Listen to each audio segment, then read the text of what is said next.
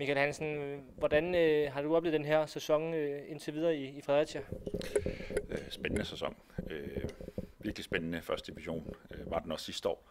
Der var nogle rigtig øh, gode hold, der dominerede rækken øh, i Silkeborg, Viborg og Esbjerg, som, som var sådan et kvantespring foran os andre øh, i det. Øh, men også en, en, en tæt duel for vores vedkommende om at komme i top 6.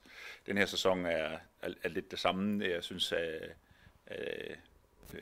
der, der, der, der, bliver en kamp selvfølgelig om at komme med i top 6. Heldigvis er vi måske kommet lidt, lidt, lidt fri af den. Øh, jeg synes, der er mange gode hold, øh, mange lige kampe, øh, mange kampe, hvor der kunne have endt den ene og den anden vej, og, og hvor du virkelig kan gå ind og, og tale om individuel kvalitet for, for at skulle have det med. man siger, toppen er måske øh, anderledes i år, end den var sidste år, hvor, hvor de, jeg synes, det var meget dominerende. De to hold, der endte med at rykke op, viser også allerede øh, i, i den her halv, halvdel af Superligaen, at, at, at det var fortjent, og, og de rigtige hold, der, der, der gjorde det lige, lige på det tidspunkt. Øhm, det gør så, at der er måske lidt mere lige kamp for os andre øh, i, i det deroppe, så, så virkelig spændende, og, og en første division under udvikling. Altså det kan godt være, at den var, toppen var stærkere sidste år. Jeg synes, bredden er bedre, øh, eller, eller, eller stærk i år. Øh, så så øh, hver eneste kamp øh, af, af, af, en, af, en, af en, hvor du skal forberede dig godt, øh, det, det tror jeg, du skal til alle ting, men også hvor du skal forberede dig til, at det faktisk kan gå lidt, hvad, hvad vej det skal være.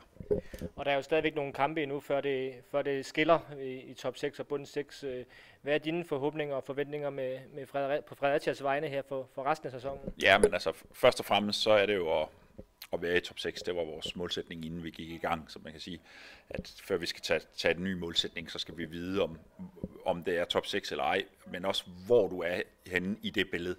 Øh, sidste år der var der så stor afstand allerede der, at øh, jeg kunne jo ikke nytte noget at, at komme og sige, at vi vil et eller andet, eller vi vil undgå et eller andet. Så, så, så vi bliver nødt til at kigge på det, når de 22 kampe ligesom er spillet.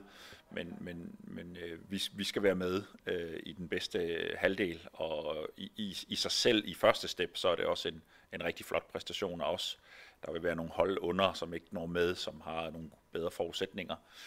Øh, det gør jo så ikke, at vi øh, stopper der, så lad, lad, lad os, øh, sådan en ren målsætning for hele sæsonen, den, den tror jeg, vi skal have ladet de 22 runder og grundspillet gå, men, men der skal vi selvfølgelig være med i, i den halvdel, der skal opnå og spille om et eller andet.